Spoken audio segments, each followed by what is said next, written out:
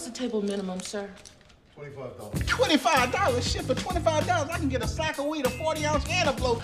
I mean, I'm, I mean, I would get a blow, not me. You know what I'm saying. But what I'm trying to say, baby, is look, if I was to bet twenty-five dollars, I'd rather take my ass to Vegas. That's gonna fuck the system up Okay, you ever noticed that your system does not work? because you don't let the system work. If you give me a chance to let the shit work, it's gonna work. Can we just get along? No.